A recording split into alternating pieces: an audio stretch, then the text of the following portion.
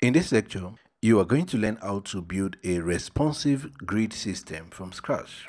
A grid system typically allows us to easily position elements on the web page. This is because it helps us to divide the web page into different columns. If you actually look at some of the responsive frameworks that we have today, like Zurb Foundation, say Zurb Foundation Grid Classes right so i'm going to open this. All right so let's just scroll down a little bit. This is actually a grid system. Foundation grid system divides the entire web page into 12 columns. We are going to see how to do this later when we come here, you can see how things are positioned in a grid system. For example, the first row that we have here as 4, 4, 4, which means the first box that we have here is taking up 4 columns, the second one is taking up 4 columns, and then the third one is taking up 4 columns. While for the second row, the first box is taking up 3 columns, the second one 6 columns, and then the last one 3 columns and then the same thing repeats down here you can see here we have just two columns first one is 6 and then the second one is 6 so the grid system actually allows us to position things on the screen the way that we want them to be positioned. Without the grid system it's very difficult for us to achieve this kind of arrangement on the screen Alright, so we're going to be doing something similar but a bit simpler than what we have here. But you are actually going to be able to understand how things are put together eventually. Because if we say that the entire screen width is 100% and then we want to actually have a grid system of 12 columns, it means that we are actually going to divide by 100. So if I bring out a calculator here and then say 100 divide by 12 this is equal to 8.33 so this actually is one column and then times 2 right? So 16.6 is actually two column all right? So this is actually what we are going to do eventually. I'm going to have my calculator on one side and then we are just going to build up the grid system that we're going to be using for this small project right back again to my text editor and then shared underscore style.css going to collapse this and this and this and this right let's just collapse all of this the naming convention that we're going to use for our grid system is entirely up to you. If you go back again to the foundation website, you can see here they use large dash 6. Okay, so small dash 6 and then we also have something like medium. It actually depends on you. You can use any naming style that you actually decide to use for your project. All right. Okay so let's get back again to our text editor. So for the grid system that we want to build i want to use this naming convention.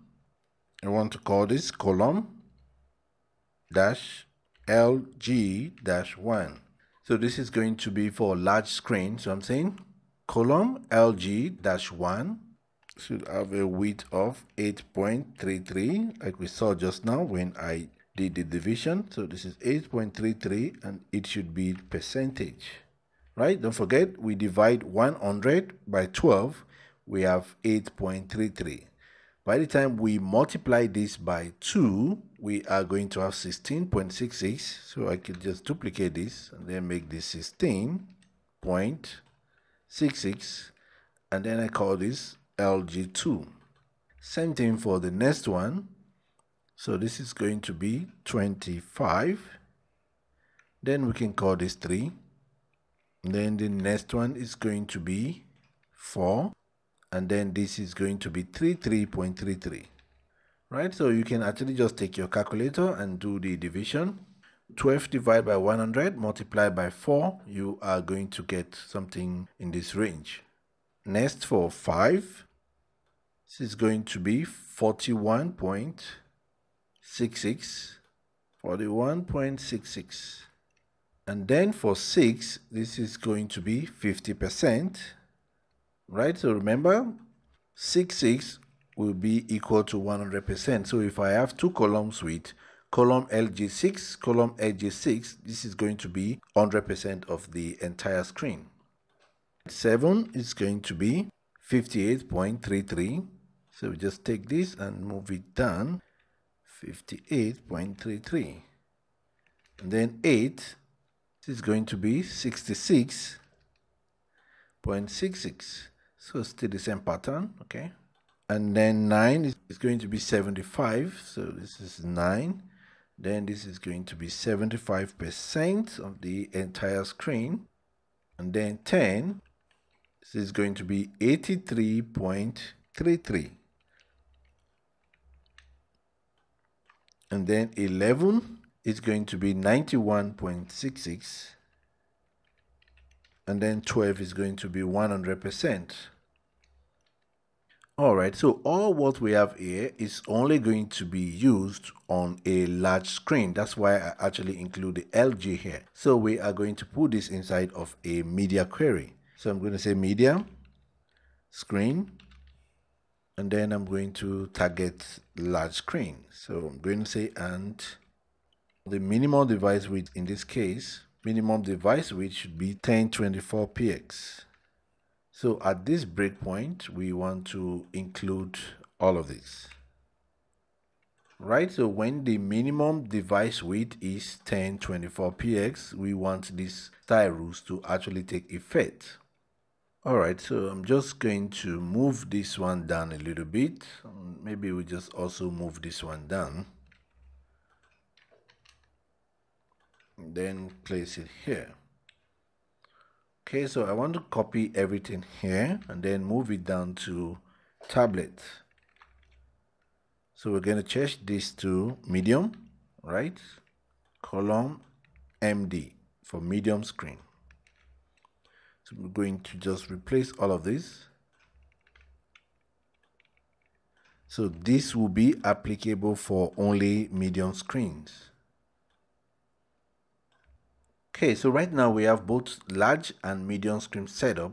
But for small screen, what we want to do is when the device width is less than 768 pixels, we want to make the column 100%. And it will be very tiresome for us to target each of all of these one after the other. So if I say column MD1 until 12 and then column LG-1 until 12, that will be 24 times I need to do that. So we can actually use a CSS selector, the wildcard selector to actually target all of this. Okay, so we can say any class that begins with column dash. We want to target it and on the small screen, we want to make their width 100% by default right so let's do that now come outside of this let's put it at the top here so by default all of the columns that we'll be using if they're not in the category that we define here we have 768 and then here we have 1024 less than 768 we want it to be 100 percent. So we just say here width should be 100 percent. And then here we are going to put the wildcard we want to look for a class. And then we can use the asterisk symbol to say this is a wildcard search. And then we are looking for whatever is going to be inside of this code in our case this is going to be column dash so anything that is column dash okay we want to look for it and then make the width 100% on small screens Okay, so I'm just going to move these comments to the top here. So group this for small screens. And then here will be for tablets. So we are going to target tablets. Okay. And then the last one will be for large screens. Alright, we're just going to test this out and see if everything works correctly. Come here, we want to create a div this will be like a container for the columns that we want to create so this will be a div and then we set the class to column let's say we want this to be nine columns on a large screen and then on a medium screen we want this to be six columns so let's say column dash md dash six. Right? So i'm going to duplicate this. The next div here, this is going to be three columns and then this is also going to be six. So if you look at this closely, what we have here, for this first dev, we are saying we want nine columns on a large screen. We want six columns on a medium screen.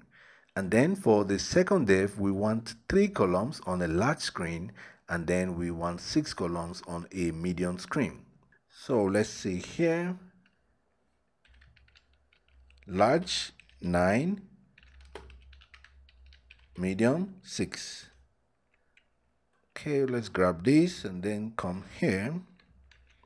Say large 3, medium 6. All right, let's just do a reload on the browser.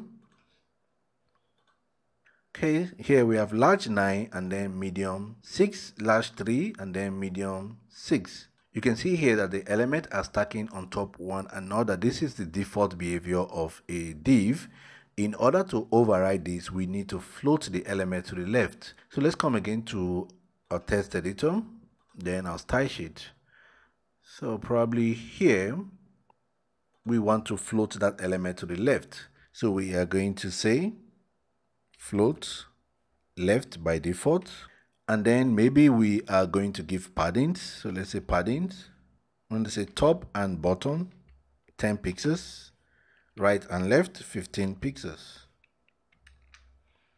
Right, so let's refresh the browser.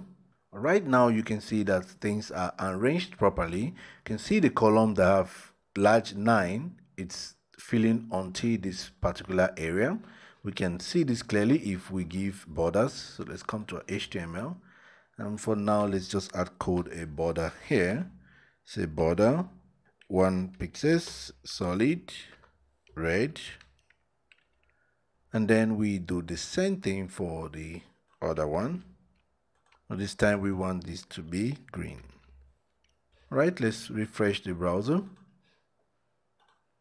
Okay, so now you can see that 9 is from here until here. Let's now see how this will look on a medium and small screen. So we can actually just use the built-in responsive design for Chrome. You can, you can see now that it's adjusting for medium screen, which is 6.6 if you look at the HTML code. For the medium screen, we said 6.6 for both of the dev that we have here. So for small screen, we expect this to be 12. So let's come back and say small screen to small. So drag it down. You can see now that the dev is collapsing on top one another. All right, so this tells me that everything is working fine correctly according to the grid system that we have built now. So with this, we know that the grid system that we have built is actually working correctly. We can now specify the number of columns that we want for a specific div. But there are a few more things that we need to do to clean up this. Because we are using float, remember from the previous lecture when I taught you about float, there's something that needs to come along with float, which is actually clear. Let me just give you a quick illustration before we apply a fix. Let's come again to our text editor, come to index.html. Right, I'm going to create a different container here. Let's call this dev and then here we are just going to put a paragraph let's have a paragraph here and just put a test I am testing to see the bug from float save this and then come again to the browser right so let's just do a reload you can see right now that there are some unwanted spaces here that we did not actually add. This is because we are using the float property. It is beginning to, because the rows are floating to the left and, and then they are actually taken out of the flow of the main page. So what we need to do is to add a style to actually clear the float for this particular dev. So an easier way to do that would be to actually always group our columns in a row. So if we come back to our HTML, see right here, I have a dev here. We are going to make this the grouping for our columns. We call this role. And then inside of our style, we are going to target role and then say after role. Immediately after any element that we apply the class rule to, we want to actually do some setting operation. The first one is to set the content to be empty string. So we're going to say content should be empty. And then we want to set the display to be table. And lastly, we want to clear everything. So we're going to say clear both right and left. Okay, so we can now do a reload on our page. Let's see the difference. See that once we apply that, the div is actually taking the right shape that we want it to have in a page. So that will be all for this lesson. In the next lecture, we will continue from here.